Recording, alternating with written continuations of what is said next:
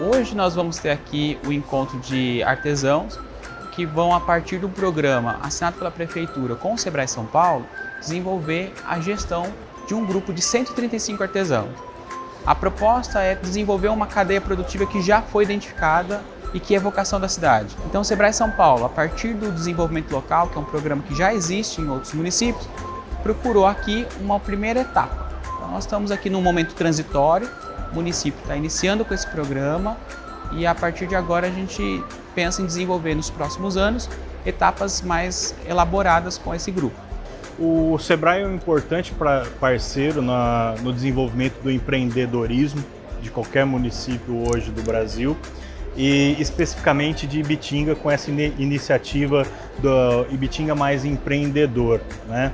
Nós temos uma característica muito peculiar aqui do nosso município, que nós somos um arranjo produtivo local de bordados e enxovais. Essa iniciativa do Sebrae vai ser fundamental para a gente buscar desenvolver com esses artesãos o espírito empreendedor buscar a formalização, buscar novos comércios, buscar novas ferramentas para comercializar os seus produtos, inclusive inovações como a internet, o e-commerce, né? A gente sabe que a adesão vai ser gradativa a essas novas práticas e nossas novas iniciativas, mas tenho certeza também que na medida em que os resultados forem aparecendo em decorrência dessa parceria com o Sebrae, mais pessoas vão aderir, porque o que todo mundo quer, principalmente quem tem o espírito empreendedor, é crescer.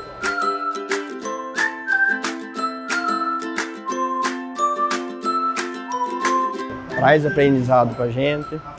Eu já fiz já uma vez já o curso, aprendi alguma coisa que eu não sabia nada e eu acho que é uma boa. Acho que a pessoa tem que fazer sim, buscar o conhecimento. E a gente tem a, o dom, né? A gente fala de, de, de produzir as coisas, de criar. Só que eu falo por mim, a dificuldade é você pôr preço, é, é, conseguir divulgar. Depende também da dedicação da gente, né? Porque não adianta nada a cidade oferecer, né, esse curso pra gente se a gente não aproveitar, né?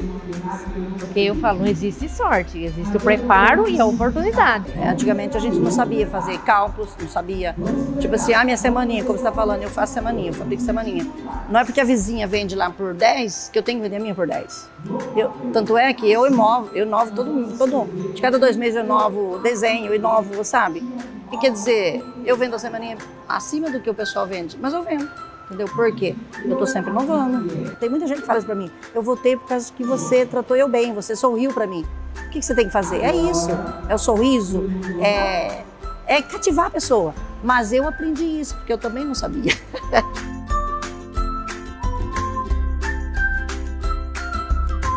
se o município que ele identifica uma vocação não observa a necessidade de capacitação empreendedora, ele está perdendo a oportunidade de criar uma fonte de geração de renda e uma taxa de ocupação no município que traz menos vulnerabilidade social, aprimora ainda a questão da arrecadação municipal e traz para o município a possibilidade de empregabilidade.